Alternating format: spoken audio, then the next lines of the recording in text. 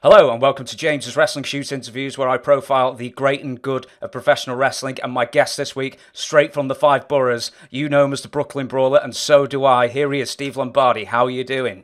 I'm doing fantastic. It's a pleasure to be on your uh, on your YouTube channel, James. Oh, they all say that. They all no, say that. Oh no, I, I don't have to kiss ass. Trust me. I would ass. And it's only one borough I'm from is Brooklyn. There's five boroughs. You said I'm from all five boroughs. One borough. From uh, Brooklyn, the Brooklyn Queens, Staten Island. You know how you know how it is. Yeah, I, have even got my uh, I've even got my New York hoodie, my only New York hoodie from when I went over. Fire department in New York.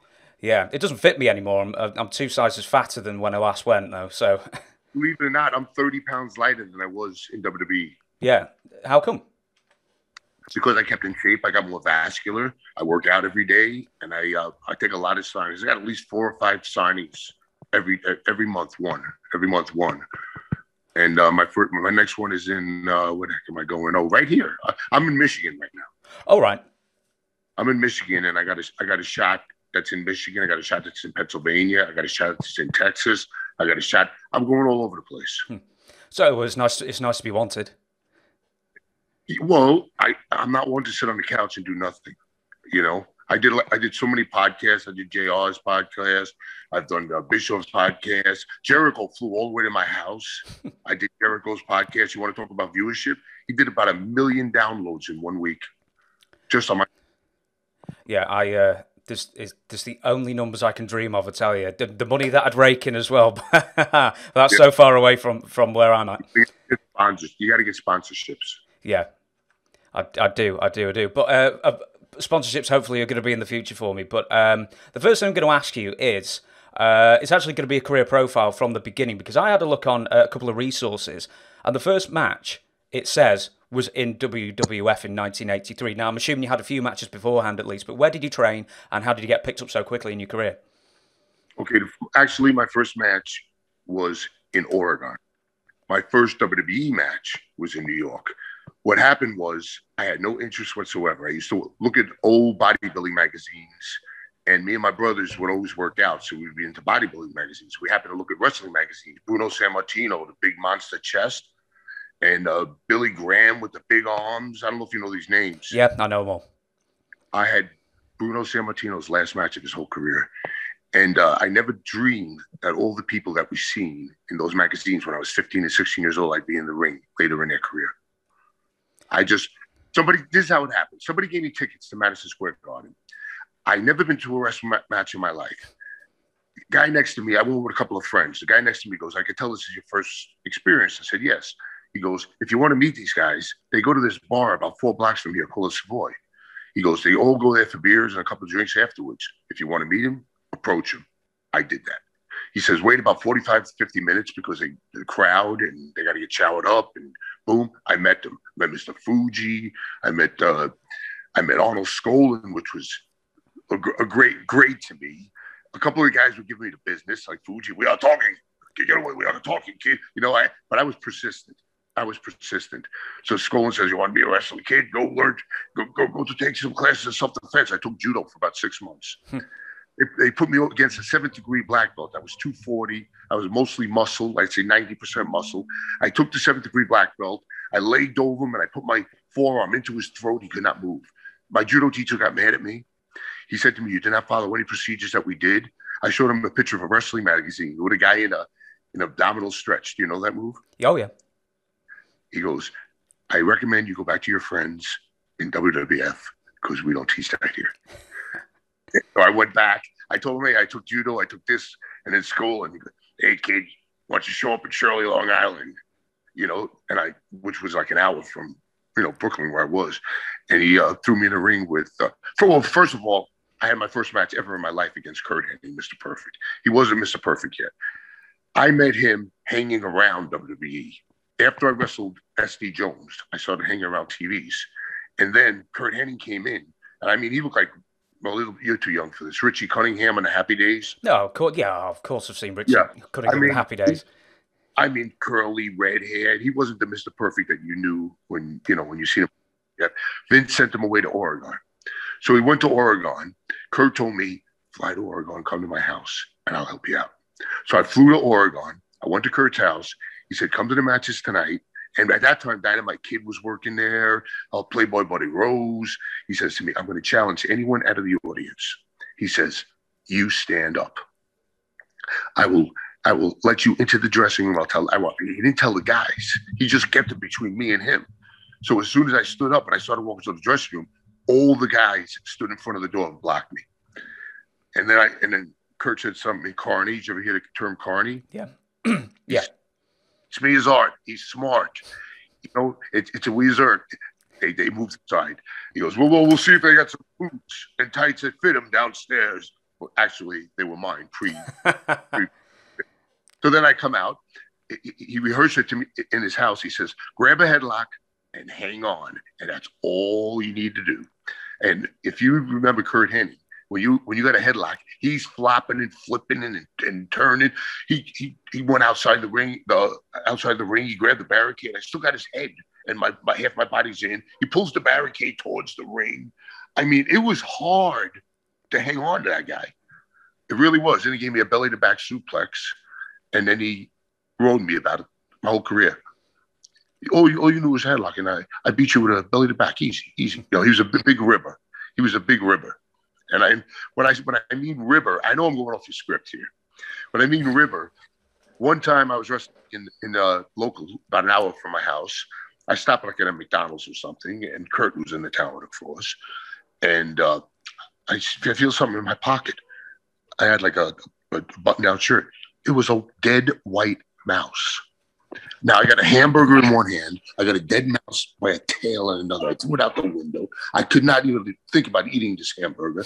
I threw the hamburger out. I pulled the car over. I opened my bag. My bag's got mice in it all over the place. Oh. Yeah, what, what do you get? Buy him and kill him? But that, that was his rib. And the way you know you could tell who plays a rib in the dressing room is you walk in, whoever's looking away the hardest. always be Curt that would always be Curt. And then there was another rib that, that well, I'm, I'm, telling you all these things now. Oh no, please! I, I, one of the questions I've got is the ribs, and also, and I always cheap plug myself. I've written a couple of books, and one of them is uh, Owen Hart, King of Pranks. Owen where, was the king of kings of pranks. He was. My last words to Owen were, "What are you doing, Owen?" He was walking with the, you know, with the harness yeah. to go up to. He says, "I'm moonlighting." That was his was his last words to me. but this is a class, but a big rib of Marty Jannetty. Did you ever hear about that one? Uh, many ribs by him. They were always the padlocks and uh, toothpicks in the car doors and stuff. Oh, Matt, Marty Jannetty, Jake the Snake was in the town, and they used to keep hundreds of rats to feed to the snake as we were on the road. We were on the road 20 days a month. So I see Marty Jannetty walk into the room. I walked into the room with him. He is tipping over the uh, the tank with all the rats in it, and he let them loose in the entire arena. And they were gathering and they were finding places to hide and go. I think the company got a thousands and thousands of dollar fine, and Marty Jannetty puts my name in with it. And I brought that up to a hundred times. He just laughs. He just laughs. So I had an actual list of um, I had like a full list of like the tournament of pranksters. So um, I don't even know where I've written it here. So we had Fuji, Curt Hennig. Uh, I didn't even put them. I didn't even put Marty Jannetty, Owen Hart, the Bulldogs, and uh, the Nasty Boys, which I thought was a bit of an outsider one. Yeah. Well, Nasty Boys were more of uh, loud, obnoxious. Not obnoxious. They're good guys. I like Knobbs and Sags, but uh, very, very. Uh, like I remember, I was just with Lou Ferrigno in uh, I, I, it was an autograph thing in California. Yeah. And uh, telling the story that he was trapped in the, he was trapped in an elevator with the Nasty Boys and he was going crazy. They were riding death. They were riding him to death. As far as Davy Boy, his classic ribs was anytime he's seen a fire a fire stand like firecrackers and uh, he'd buy smoke bombs. He would open the dressing room door, light a couple of smoke bombs, throw them in, and then latch the door with either a broom if it was a if, whatever the door was able to be latched with, and the whole place was full of smoke. And he, of course, he took off. But you want classic of all ribs? Please. Okay, do you remember Paul Diamond when he did that that uh, Orient Express? The, yeah. Yeah. Okay. Paul Diamond wore a mask. Miss and uh, Iron Sheik had a you know, big Olympic winner, you know. I can't believe it, baby. This is the Iron Sheik. Catering now, and at, at tapings is a cater, there's catering, and they got like all these all these dishes, and there's like 50, 60 people in there. So, uh, Marty Jannetty takes Cato's mask, goes behind Sheik, and schoolboys him. Now, wh- whoever doesn't know what a schoolboy is, you crotch him from behind and fall backwards, and Sheik took the fall in front of 60 people, 50 people, and then uh, Jannetty ran away and threw threw his mask back by Paul Diamond. So sitting there not having a clue what happened. Sheik is furious. So who got the blame? Paul Diamond by Sheik. Dude, is that a? Did Did you ever hear the one? And I asked Dan Severn this, and he said he had no memory that Owen did the exact same thing to him. Dan Severn was in the locker room, lying down, minding his own business, and Owen Hart had stolen one of the uh, luchadors from the Super Astro show, and put it on, put the mask on, dove on top of him, yelled two points, and then legged it out of there. I don't then- remember that. I don't remember it. I mean, it's probably it's most likely true because Owen was a practical joker from A to B, A to Z. I mean, he did everything. Great guy, great wrestler. I probably wrestled him 50 times as Owen and as Blue Blazer. And uh, I tell you, that's a great one that we that we lost. It really, really is.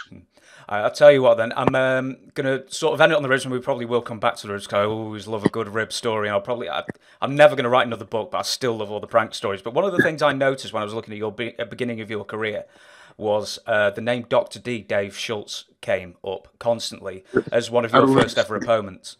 Yeah, he was one of my first. I was still Steve Lombardi. I became Brooklyn Brawler in 1989.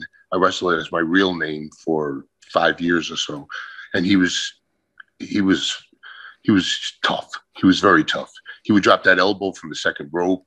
There's actually a match on YouTube with me and him, and uh, he was a he was a legitimate bounty hunter, legitimate bounty hunter. So you got that in your notes. I'm interviewing him tomorrow. I've got four pages of notes Oh. on him. Tell him that I have the ultimate respect for him, please. I will do. I do.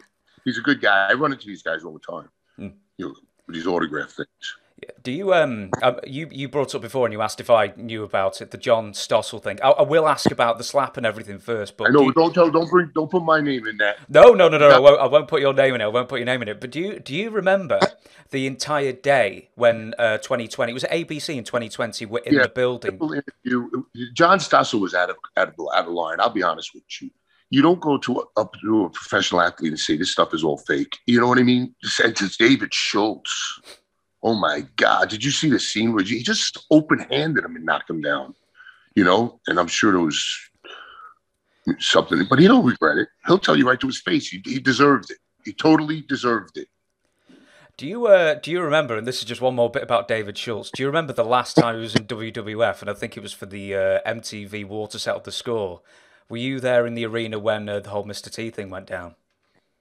Which Mr. T thing are we talking about now? Uh, Dr. D, I think he'd just been fired and he walked into the arena and got too near Mr. T, and police dove on him, hogtied him, and carried him out. Oh, because he was going to attack Mr. T? That was the theory they're running with. I don't know. I, I, I didn't I didn't hear that. Oh, I okay. didn't hear that. I'll um I'll, I'll skip ahead on that one, and uh, I will ask you.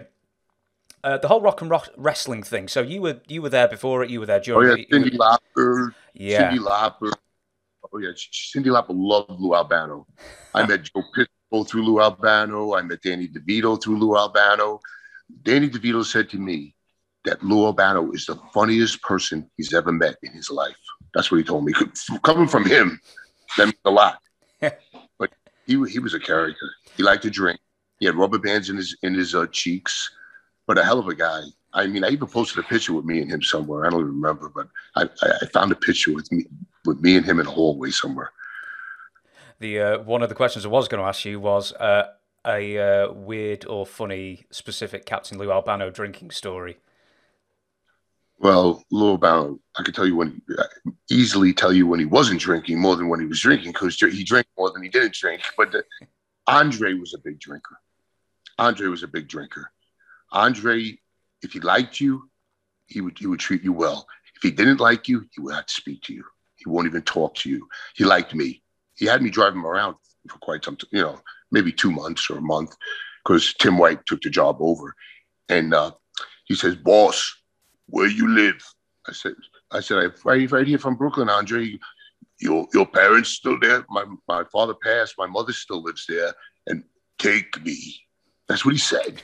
So I called my mother up, and uh, I think it was Andre had this, those big white phones because there was no cell phones back then. I said, "Listen, I'm bringing a wrestler by the house." He goes, "Who?" I says, "You won't know him. Just some guy that just started." So I pull up to the house. My mother, it's a second story house. My mother's looking out the top window. She sees me. I come out of the driver's seat. Then all of a sudden, the passenger seat opens and this big monster comes out. All I hear my mother is, "Oh my god!" The whole neighborhood went. He was as big as Hulk Hogan in his prime back then, and he was the, the nicest guy. I went to his restaurant in Montreal, and he, uh, I said, "This is great, Andre. This is really going to be a success, boss. Money in the booze, not the food." He was just that kind of. And you know what he did for me one time? No. I was in a battle royal, and uh, he threw me in for a short foot. You know, like you just throw you in, put his foot up, I take the bump. He dives on me. I said, "Holy shit, he's going to kill me." Every wrestler dove on top of him, but he like he kept his elbows protecting me, and he whispered in my ear, "Boss, I have you." And he took care of me. He took care of me. The other guys were trying to hurt me. You know, not hurt me, kill me, but it would have killed me. If they put all that legitimate weight on me, I would I would never been able to breathe. But Andre saved me there. He really did. Do you remember any of the time, uh, any of the people who he wasn't so charitable and, and kind to in the ring? Oh, but if I say that, that's going to be bad blood.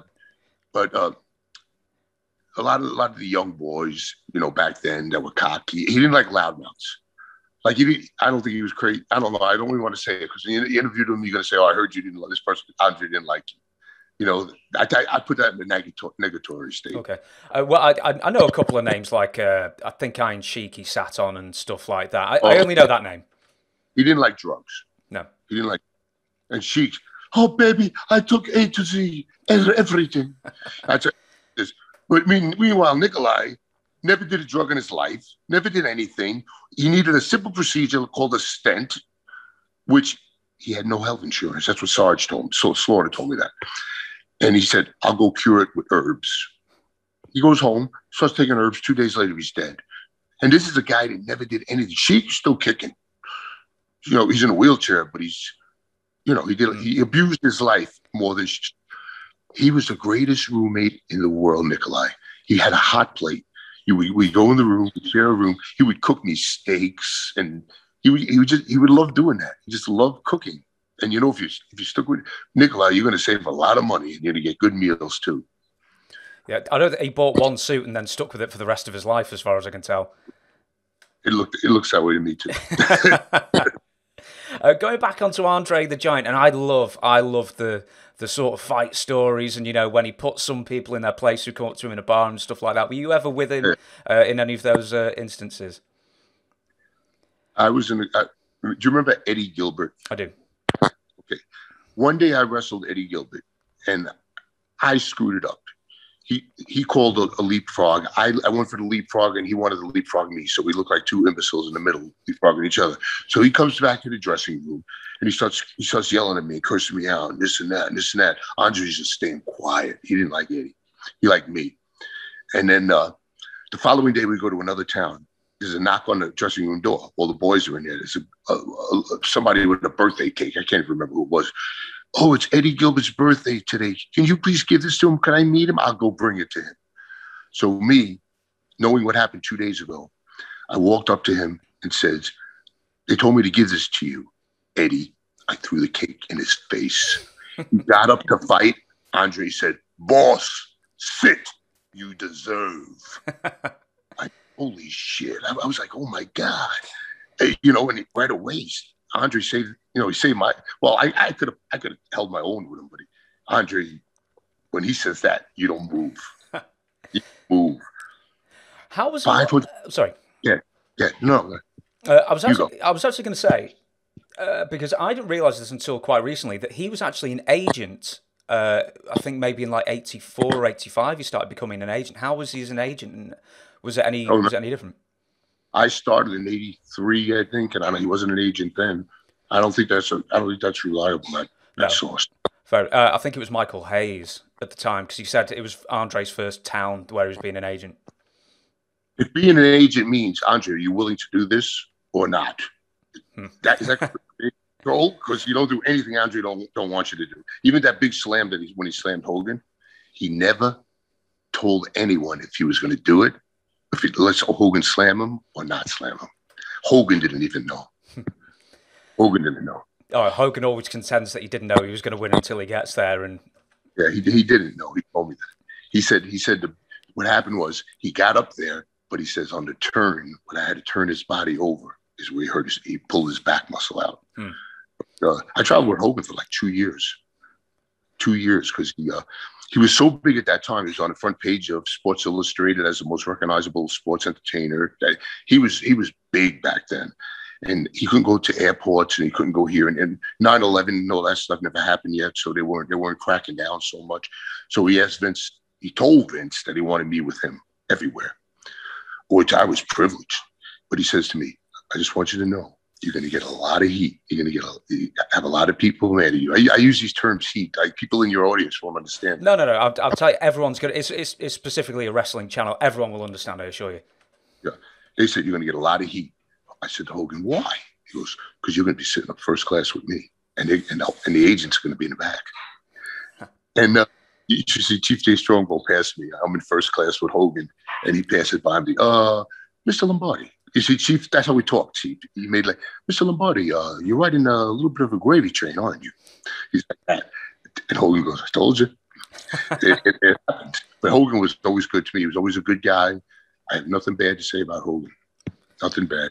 No, I, I, I'd never asked for anything back because I love Hogan. And to be honest, I always thought that he was a really, really good wrestler. A lot of other people say he wasn't, but I, th- I thought he had tons of fire, and I didn't see anyone sit down during his matches, so he must have been good you know, you, you know, I had this argument, not this discussion with a lot of people. They say, "Oh, what Flair was a better, a better wrestler than than uh, Hulk Hogan." I said, "I judge my wrestling by who drew more Hmm. You know what I'm saying? Not yeah. who did three more flips or who could do this or who could. Do. Hogan could draw with a with a broomstick. He could. He he went in with Lanny Poffo and sold out hmm.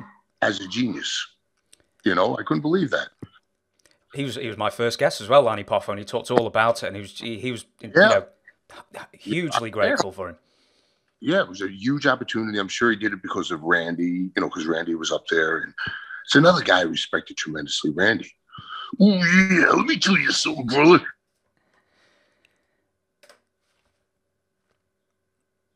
How are you doing? Yeah, I mean that's the dressing room talk. So that, that promo that you hear is not made up.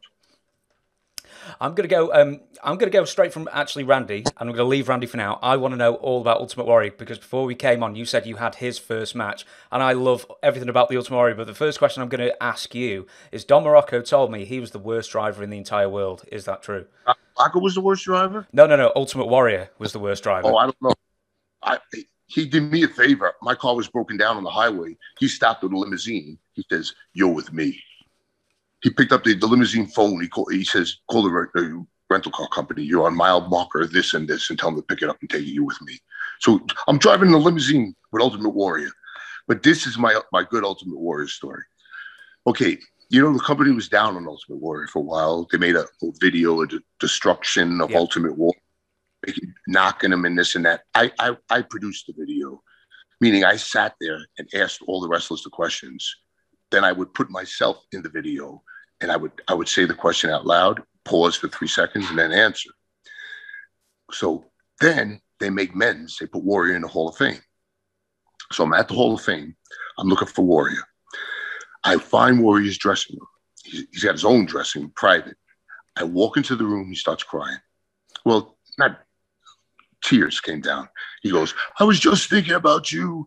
He goes, oh, oh, you better be pre- prepared. He was stuttering like that. Prepared just to stand up tonight because I'm going to tell that story about how the agent said that you were going to beat me that one night to test my attitude, and you took me in the room and said that, that that's what that w- w- was what it was all about. Because I told Warrior to just say anything you want, anything you want, and he says that helped me so much. And you never said a negative word about me in that dumbass video. And I'm going to say, I said, please, Warrior, don't do it because I'm still working on the company. And if you stand up and say they told me something and I told you, and they told me that, you know, I'm gonna look like they can't tell me nothing.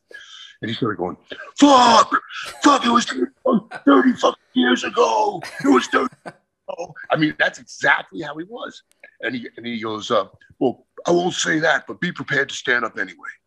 so if you look at the footage, I don't know if they showed it in the video, but he, he says, was Barty, Brooklyn Brawler, he took a lot of my abuse and always kept a good head about it. That's all he said. Yeah. Uh, speaking of the abuse, he was one of the uh, snug. I think the word would be uh, more snug of the wrestlers. Were you um, were you someone who was trying to because you wrestled him quite a lot, I believe. Were you someone who was trying to sort of rein him in? Uh, you know, just do it in a safer way, but keep the intensity and everything. How did you uh, mold him? He accidentally knocked me out twice. Blinking out. Accidentally, you know, but you know, I got him in a hammerlock, and then he throws an elbow to, to the back, hits me in the temple. But his elbows were real elbows, you know, hard but he never did it viciously or on purpose. I never was in a ring with somebody that tried to hurt me on purpose. Uh, do you remember when he came back in '96? Do you remember that brief run? And uh, it just seemed to be fraught with sort of ten, you know, tension between him and the office all the way through. Do you remember that? You mean when he came back with the suit instead of the with the muscles on the suit and all that? No, that was in '92. '96 was, um, I think, it was WrestleMania 12. It was the Shawn Michaels Bret Hart Iron Man match, WrestleMania and it was for a few months around that time. Yeah, I, I remember. I was there for all of that, but I, you know, they're all tied together. Yeah. You know, because the Warriors so well by then. You know, he was a great guy. He brought Kerry Von Erich in. Mm. You know, because Kerry Von Erich and him were friends, and then he came in, and oh God, you want a story? oh my God! As soon as I said the word Kerry Von Erich, you know who he is? Yep. Yep. I'm in the car, Iron Sheik in the back. Kerry Von Erich in the passenger, Cadillac sunroof, everything, rental car. He says, just drive steady. I'm on the highway, 60 miles an hour, whatever it is. And he gets out of the car, out of the, climbs out of the sunroof, hooks his foot onto the sunroof, puts his elbow on the hood, and says, it's, he's saying, don't slow down. This is relax. He had a prosthesis. you know, one of, well, I'm I, I, was freaked out. I was I, I, I, was scared. Like, what's going to happen if I pass a cop? Are they going to yell at him or me? You know, I'm they're going to ruin my my whole uh, police I was going to ask you which leg did he have in the in the sunroof? I I I couldn't tell you that. It had to be a good one because the bad the bad one. No, the bad one. The bad one might have come off and left in the car and left him out. He was he was a good guy. He was a, he was a, always a good guy. He always always missed his brothers much he always talked about his brothers. One day I'm going to dance with my brothers. That's what he would say. You know, but I don't want, you know, how about Warrior's last uh, interview before his death? Mm. Did you hear it? Yeah, yeah, I did, yeah. But stop speeding. The warrior will continue to live on. Then the day after, two. No, that would be the day after. That's mm. no two days after. Because SmackDown was after all. Two days after he's dead. Did he look him well at the time? Because I remember seeing him on TV and he did look like very red, but otherwise, no. No, he, he, he was he was thin. When I when I hugged him, I, I, was amazed at how small he was. I was bigger than he was, and he was. uh He seems like he was exhausted, exhausted from the years, you know, mm. and all the, the uh, battles with him and Vince and all that. His wife still works for the company, and he, you know, his legal name is Warrior was Warriors He changed it to that. Yeah. So it's like daughter is uh I don't know I don't remember their names to be honest with you. Bondi Warrior. You know, like the last name is Warrior. Yeah, it, it, was it was a smart legal move. But uh, I'll tell you what, I'll uh, move on from Ultimate Warrior and I'll ask you about probably the most loved manager of all time. We've got to go for Bobby the Brain Heenan because obviously he was the guy who gave you.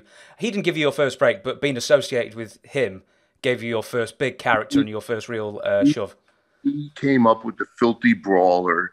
Are you going to be a kid from the streets that that win street fights?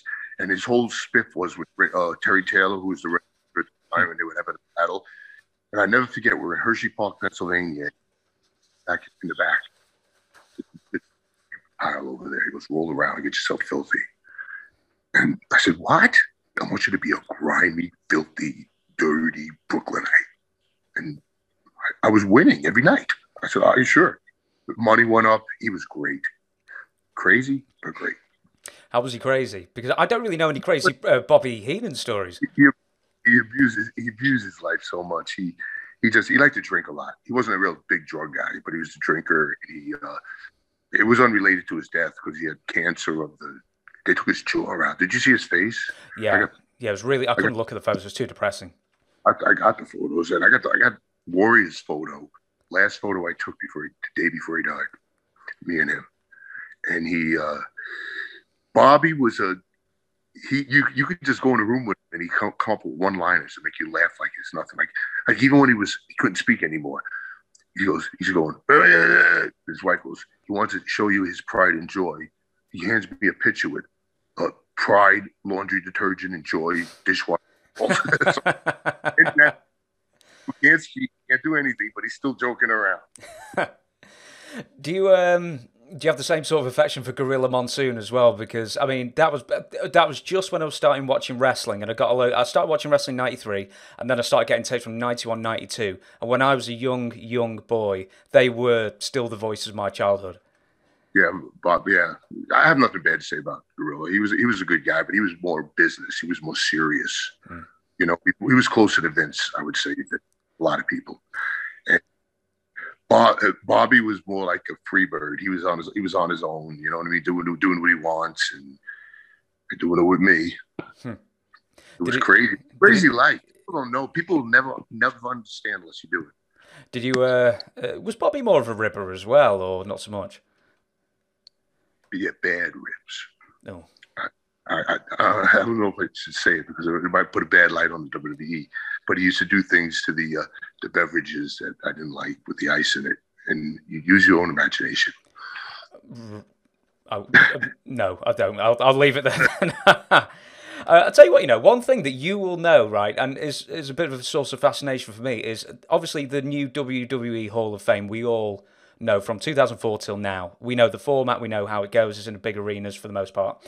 But there was a Hall of Fame ceremony, and I think it was like around King of the Ring time for three years 94, 95, 96. Can you tell me a bit more about what those uh, Hall of Fame ceremonies were like?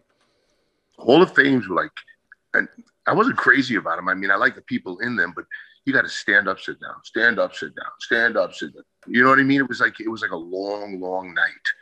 But I don't know. Did they cancel Hall of Fame last year? Uh, they cancelled it last year, and then they did both 2020 and 2021 this year. Oh, they did them both, but no audience. Was it no? Um, that's a great question. I didn't watch. I just know they did both together. In, in Tampa for WrestleMania, I know that. Yeah, it was twenty thousand people in a hundred thousand people building. Twenty five percent. They stuck by stuck by the rules. How's the how's the how, how's all the problems in England? Are they bad with the COVID? Um, it's, it's I think it's the lowest for about six, seven months now. I think more or less everyone's been offered who's over forty the jab now. So I think we're, I don't know if it's just like us or Israel. Uh, mm. as, sort of ahead, uh, you know, sort of leading that. But we, were, I think it's like a, like 120,000 deaths or something like that. So we were one of the worst hit countries. In a couple of weeks, we're opening up uh, pubs inside. There's been a month. Right. There's been like a month where we um, could only go to restaurants and pubs, but only uh, drink and eat outside. So, which is a bit awkward, obviously, because it rains every single minute of every single day here, and it's uh, Fahrenheit. It's under 50 degrees now, and we're in the midst of 20 straight days of rain. So now we're about we're about 50 right here in Michigan, but, but it's been raining too. Believe yeah. it or not, I think the whole thing. But is the world going crazy, or is it me? I just, I just want. I, I want to. I'm just saying. I, I, just, I just want it all over with. Just a few more months. I and do then... too. I want everybody to just get along. But you, if you you don't, if you've been to New York at all ever? Uh, I've been twice. Yeah. Don't go anymore. Don't go. The police will tell you to get off the street. They will tell you to get. They will. They because they, they took away search and seizure for the police. So the cop told me to get off the street. He says, because I cannot do nothing for you. Even if I see a gun hanging out of someone's pocket, I can't search. He says, I can only help you if you get shot. And I don't want to do that. He says, I said, my grandfather used to take me here when I was a little kid. It's not like that no more. All the buildings empty. There was even cars going around saying, get out of the restaurants, get out of the... I, I seen on news. So my mom was in Brooklyn still and my brothers.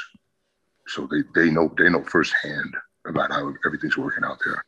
Yeah, I, I went Manhattan, I think the last time was like 2014 maybe. And it was I was going to ask you where the great places were to hang out there these days, but apparently nowhere. Well, I, I, all I know is my my my dream was to wrestle in Madison Square Garden because it's famous. But I one time I wanted to wrestle there. Wrestled there 52 times, 32 years. I wrestled in Wembley Arena. You know Wembley Arena. Of course, of course. I I wrestled in Royal Albert Hall. I've wrestled all over England, all over the place. I wrestled in India. I wrestled in Australia. I wrestled in New Zealand. I wrestled. It was a hell of a journey. Hmm. it really was. And, and, you're still wrestling now. I mean, it, your last no, was like last year, wasn't it? Nobody's wrestling. I had a wrestling school and I, I, gave it up because this COVID thing. I don't want one of my students to get COVID and then say Brooklyn Bowls School got. But uh, no, I, I, I just do autograph signings now. Hmm. I, I got four autograph signings coming up, and uh, I don't because if you're out of the ring for a year, then you get back in it, you're bound to get hurt. Yeah, you know, I think everybody feels that way. Yeah, I'm going to um, I'm going to move back on now, and uh, I've got a segment that I call the firing line. So I'm going to fire some names at you, and uh, I want you to tell me, you know, what you think of them, uh, and you know, if you've got like a little story. Uh, to go with it, but um, for everybody else, I've been giving them wrestlers' names and on-screen talent for the most part. For you, since you worked backstage for so long, and I will actually talk about your agenting career as well. I've got a load of names that you work with who either were rarely on screen or never on screen, uh, but were big names sort of behind the scenes. So if you're ready, I'm going to throw some names out. And the first one is Steve Taylor. Steve Taylor, great guy. Happier when he went over, unhappy when I went over. I'll give you I'll give you little lines like that. How's okay. that? uh, Jimmy, agree with it. uh, Jimmy Miranda. Jimmy Miranda.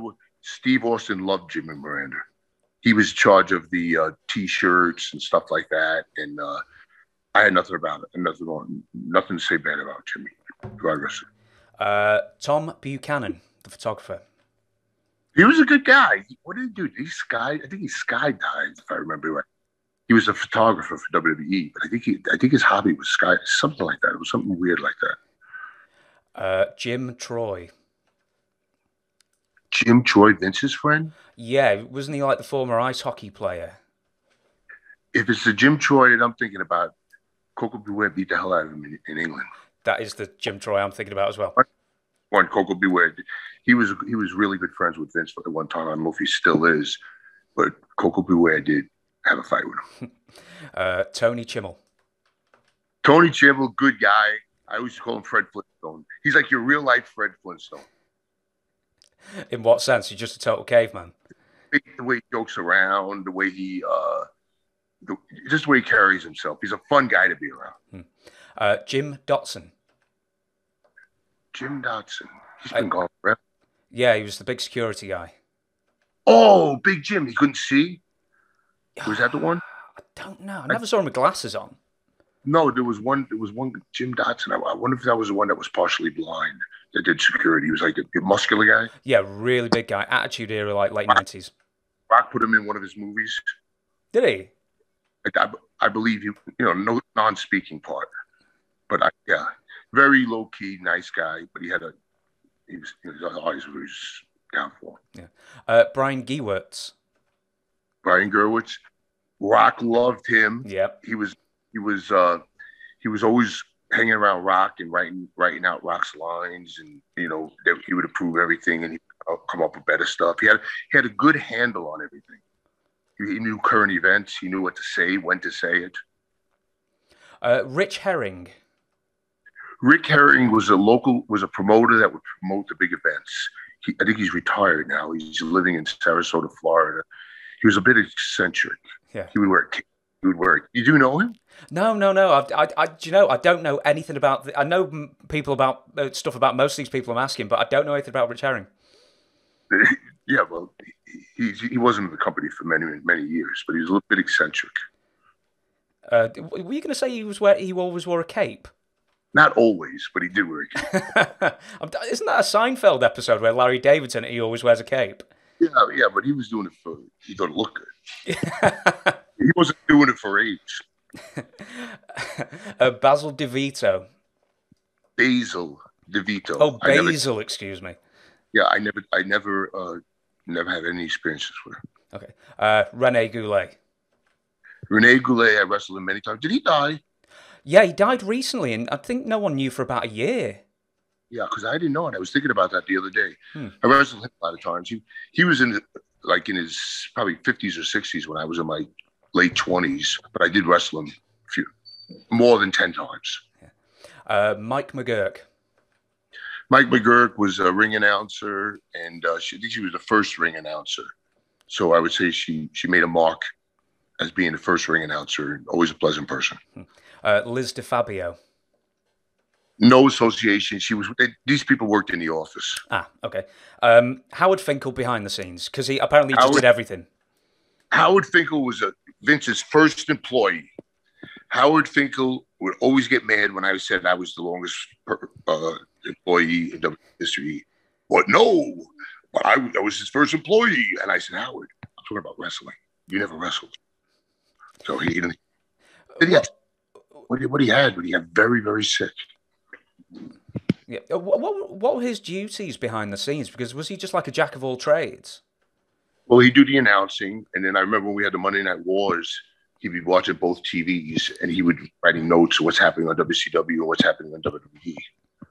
So Vince, Vince put a lot of things. He, he would always be the one to call me to say, "We need you in this town. We need you to go to that day." He would always be like the, the guy to give the message to you. Uh, two more. Uh, Lisa Wolf. Lisa Wolf is another office person that was there briefly. And uh, someone I've saved for last because I know you've got something to say about him, Harvey Wippleman. Oh, good friend of mine. Very good friend of mine. Did you hear Rock just bought him a car? Uh, do you know, my, one of my questions was going to be he's bought Haku a car because he lent him trunks for his first match. He's bought Harvey Wippleman a car who I think drove him from the airport. Because Harvey bought him a car when he was 16 and he was broke. And he says, "You I, you bought my first car and I'm buying your last car." I bought him a brand new F-150, which Harvey always hated big cars, but he took it. He yeah. says he wouldn't let him drive it home. He flatbedded it right to his house. When's your car coming? Because you had a lot of uh, because you did uh, a lot for him in his first match as well. Uh, I'm I'm not saying Rock would not be Rock without me. I just had his first match. I had his first match, and he he put me in his book, and I, I don't need a car. I got yeah. plenty of cars. well, but I, I can understand the sentimentalness about buying my first car when I'm 16, and it was a crackhead in the back. Hmm. It's funny. Harvey, Harvey, said to it was on Entertainment Tonight. All those programs. Did it come in England? Did it show up in England? Uh, Entertainment Tonight. I, maybe on a cable channel. Not a big thing here. But, first thing Rock said to him when he gave him the car, he goes, he, he, he had his mouth open. He goes, is there a crackhead in the back seat? there's no, there's no crackhead in the back seat. You've got you've got to give us some more Harvey Wippleman stories because I mean you've I mean he oh, always described oh. himself as the uh, concierge. Yeah, he didn't like to be called. He didn't like to be called.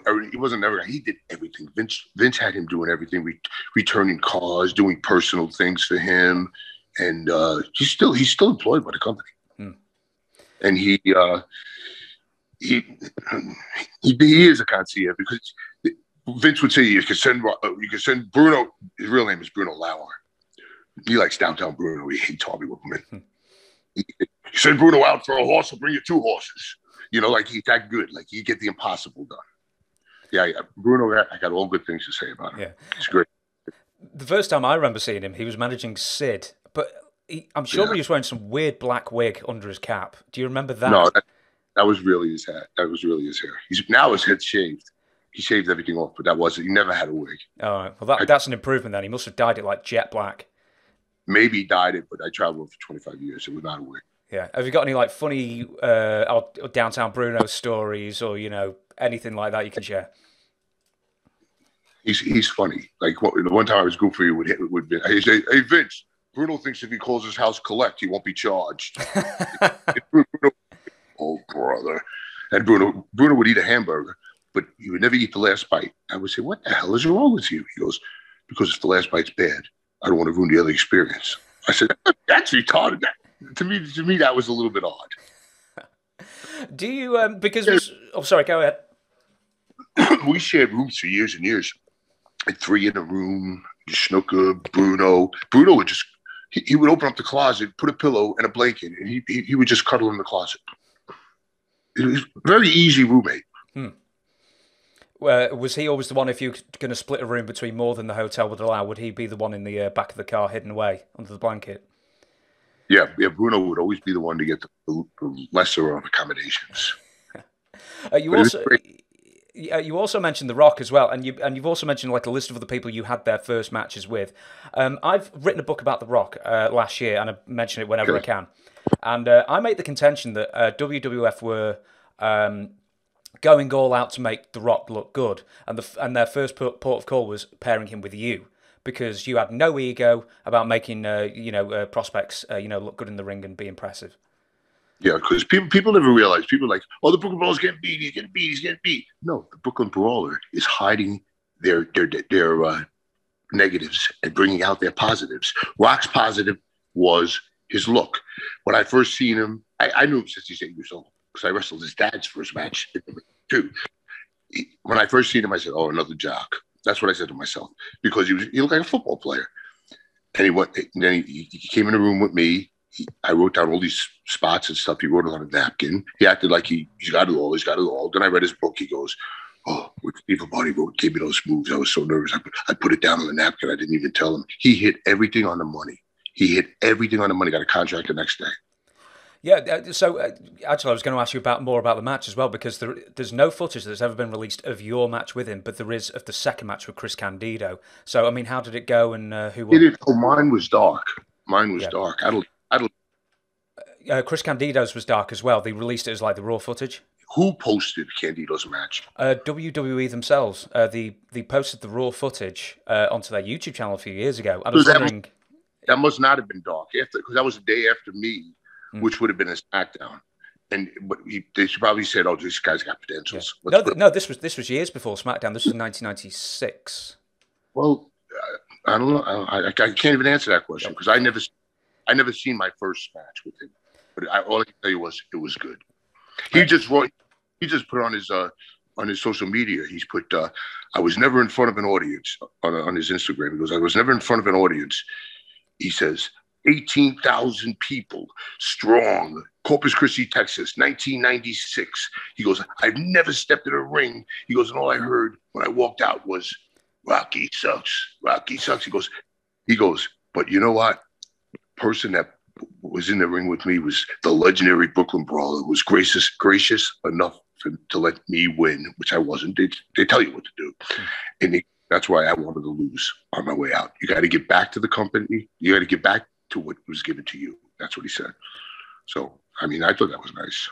Uh, were you? Uh, uh, I'm assuming your uh, opinion was uh, highly valued from Vince. As far as, uh, I mean, how would you how would you go about evaluating somebody? Would you just give them like one sentence, or would you give like a full rundown of uh, people you, you test out? Here's a good example: John Cena. No, they were giving, giving him a second look. He had a mohawk. He called himself the prototype, and he was sitting around in L.A. So I was controlling the they call it a pre-tape room, which is interview room, which does whole videos, all these different videos that you see. So I brought Rock, I brought uh, Cena in there. I said, cut a promo. And he cut a promo so well. But then he, what he did was he reversed the promo. Like, like he reversed his words. I went, holy shit. So I said, just stay here. I knocked on Vince's door. I said, Vince, we got a ringer. We got ringer. He goes, really? I said, I'm telling you, this guy can talk his ass off. He goes, Tell the writers to put him in a match with Kurt Angle. That's what said. And and they did it. And I don't know if you've seen that match. Yep. That, yep. Was, that was Cena's first match. And he did very well. Cena's, Cena's like remarkable at, at shoulders and stuff like that. And he talks Chinese fluently. Yeah, this was because um, WWE were trying to get into the Chinese market, and no one even asked him to. They just said, "Oh, yeah. I'll just I'll just try and learn." Yeah. He did it on his own. He opened he opened a Chinese Twitter account I mean, and it's hard. I mean, uh, uh, it sounds like a hard language to me. Yeah, I think it's meant to be. Apart from, I think like English is meant to be the second hardest language or something to learn. Then Chinese is the hardest, or because it's just so right. alien. But uh, I, will tell you what, I'm actually going to go straight back to you. And yeah. When did you start becoming almost like a player coach, like half agent, half agenting, and then half staying on the road? And uh, what? And in fact, actually, take me take me to uh, being an agent full time and. Um, what, what, what were your full I, duties? I call myself an agent. myself a producer. What, what it was is I was I wrestled full time, 21 days a month, 17 years. 17 years. I wrestled everybody and anybody. And then and then after I stopped wrestling full time, I, I, I got in charge of the uh, pre-tape room, which is the interview room. And then oh, we were having celebrity GMs come in, celebrity GMs.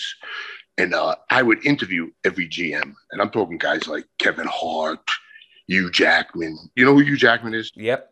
Wolverine. Okay. Hugh, Hugh Jackman's in the building. He walks up to me.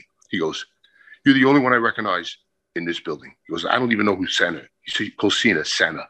He goes, I don't even know who Center is. I says, why, why, why would that be? He goes, because in 1984, he goes, I wasn't even an actor. I watched you wrestle live in Sydney, Australia with my dad. Can I please take a picture of you and tweet it out? I said, Ain't I supposed to ask you this? He goes, No, I'm serious. And he did it. And then when he came back the second time, he did it again. I mean, unbelievable. For a guy like, you know, the nicest guy, no ego.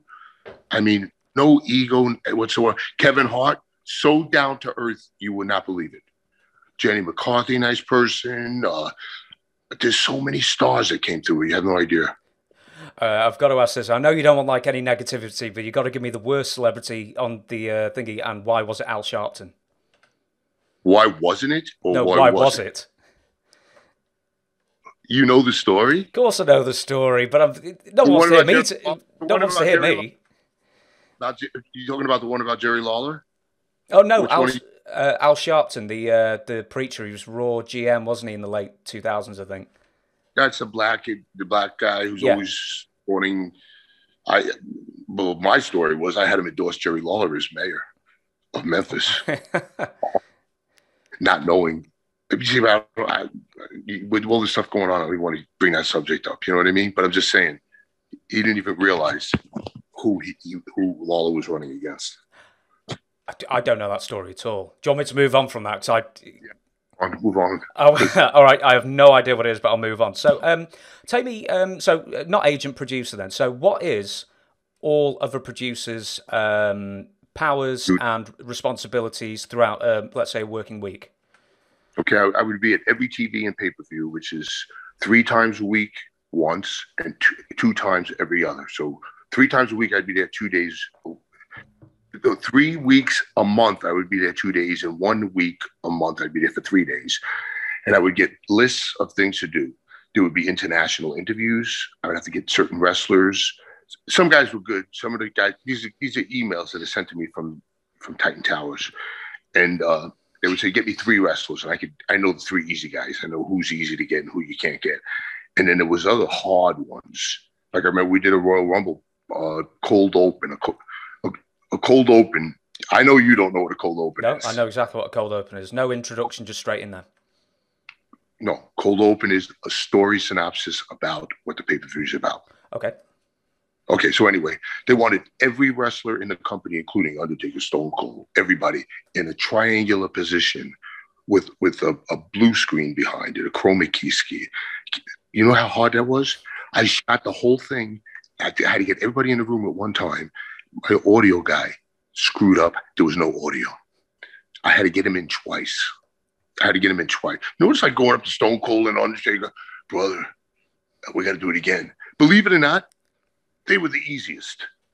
They were the easiest. It's the, it's the other people, and I'm not going to say their names, that are like, uh, I don't want to do it. I'm not doing it.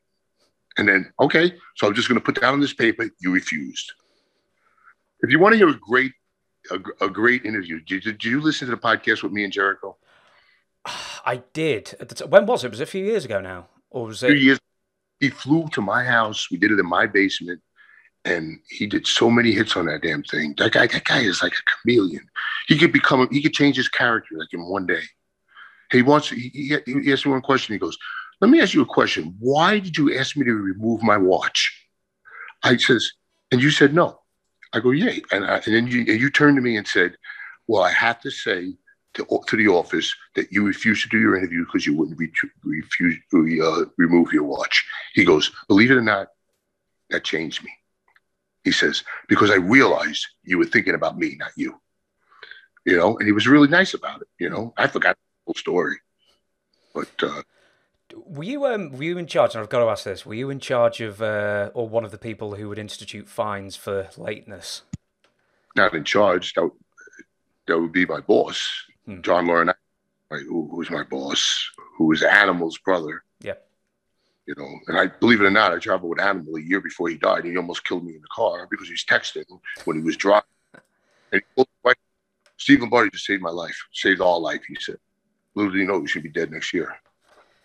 Uh, All right, and I promised I'd ask this, uh, and you Yeah. said you'd had loads of great stories. Jim who Cornette. told you? That? You He told, told me. me. You told me Jim Cornette. You said you had loads of great stories of Jim Cornette. Jim Cor- Cornette is going to give you give you all the stories with a twang in it, Yeah. and it's going to be a lot of negative. Or I don't know. I don't want to. I don't want to burn a bridge with Jim. He's a good guy.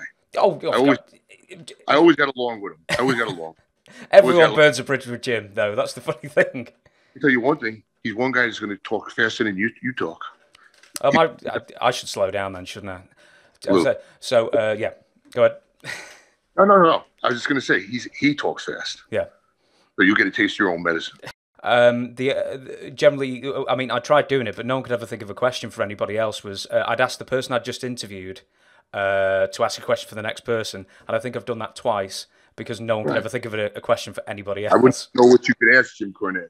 Tell tell him that Brooklyn Brawler said Hmm. you were one you're one of the greatest speakers, one of the greatest managers ever. And no, I don't say that. I step on Bobby. You know what I'm saying? It's, Oh, no, it's like I, I'm not speaking. I'm not interviewing Jim. I'm not interviewing him at all. He's oh, not. oh, I thought you were after Dave. No, no, no. That's Don Muraco again. You're gonna do Muraco over again? Yeah, we're hoping to start a podcast. Um, You him and I. together? Yeah, so Oh, I'll um, I'm doing a I said hello. Tell him I said hello, and I always speak highly of him. Please tell him that. Yeah, I will. Do. I'll, t- I'll even write it down at the end of this. I'll write down uh, that as well because we're do- always, always talks highly of you. You know, he had he had shoulders like bowling balls. Yeah. I mean, this guy was he, he- he was big. He was big. when did you first wrestle, Dom? I wrestled him on TV a few times. It was just squash jobs, two minute matches, three minute matches. But you could just feel his brutal strength. I remember he had me in a head scissor, and I was holy shit. He could literally kill me with that with his legs if he wanted to. you know, he's that he was that thick and that powerful. Yeah, But- fantastic promos as well. Really, yeah, good promos. Muraco, a one talent, a one talent. Do you remember when? Um, here's a question that I'd written down and was going to ask earlier. Uh, was do you know the time when it just became apparent that Vince McMahon and the WWF were just going to be taking over wrestling? I think it was. Uh, I think. I think the Monday Night Wars was scary for a while because it would beat WWE in the ratings. It would beat them in the ratings. I think Stone Cold kind of turned that around a lot because they had Goldberg, we had we had Stone Cold, and Stone Cold was just captivating because Vince was able to work. We, you know, he did all the, Stone Cold do all that stuff to him. You know what I mean? Now, who doesn't want to beat up the boss? You know, you know what I'm saying? He, he's actually everybody's living vicariously through Steve Austin with the things he's doing, and he's done some crazy stuff.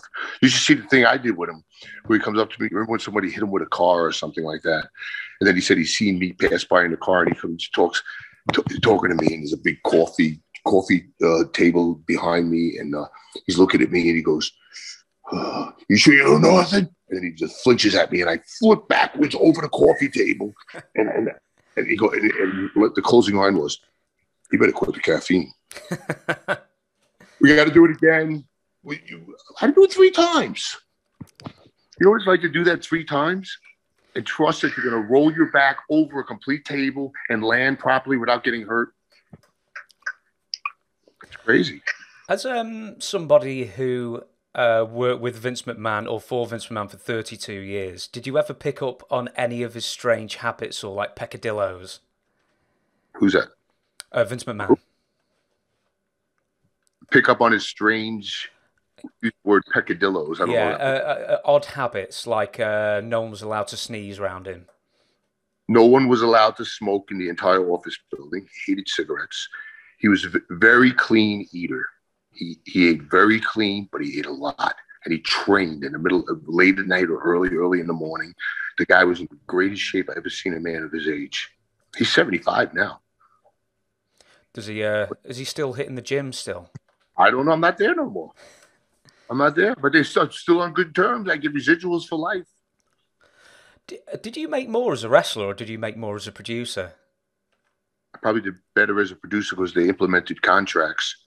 And if you wrestled on a Hogan card, you get more money than if you wrestled on a somebody low, like uh, Bret Hart. Or I'm not I'm not knocking Bret because a lot, but what I'm saying is Hogan. If you're under the eight, we were running three towns a night. You're either on the A, B, or C. If you're on the A, you're going to make a lot more money. If you're on B, you're going to make less money. If you're on C, they throw together a main event, Rick Rude against uh, somebody else. You know what I mean? Yeah. It's just like the luck, the luck of the draw. Were you um when you were uh, hanging around Hogan for a couple of years? Did you find yourself on the A shows more? Yes, all A shows, because I had to be with him. Hmm. So I'm always no. He he would wrestle the main event, and I would always wrestle the opening match. Uh, I'm going to ask you a couple more. Are we all right, like for a couple more questions, then we'll. Uh... Yeah. Okay. Yeah. yeah. I'll give you, I'll give you more because my wife wants to go to a restaurant and go eat. All right, fair enough then. Okay, I'll be only a few more minutes. I'll ask you a couple more things. You've got to, you've got to uh, give me uh, what was Abe Knuckleball Schwartz, the uh, baseball thing. Uh, can you explain that one to me? Okay, Abe Knuckleball Schwartz. You remember the movie The Warriors? I've never seen it. Okay, it's it's a movie about these uh, these gangs, and some and one of them was a baseball game where they had that face on, and they walked around with bats, and, and they were a street gang that fought other gangs. So back then, the, the movie was kind of popular. Do you remember Damien Demento? Yes. He was a very good artist. I gave him a napkin. I said, draw me a face and make the face be a baseball. He drew it beautiful. I walk into Vince's office. I knock on it. I, I put it in front of him. His glasses tilt to the tip of his nose. And he goes, Ooh. I said, It's never, no. He goes, I'll give it some thought. To me, that's a no. I said, It's never been done before. He goes, Really? That that caught his that caught him more than anything that he's going to do something that no one has ever never ever did before. Uh, was it only going to be for a few months because the baseball season had been cancelled? Well, no. What happened was the baseball season wasn't canceled. They weren't on strike yet. So we did. We were doing. We were doing goofy vignettes like where I would be on a baseball field with a whole team, and I would I would blast the ball out there, and it would be like like I'm a big shot. Then it would pan out, and it would be a little league baseball team. it was, stuff like that.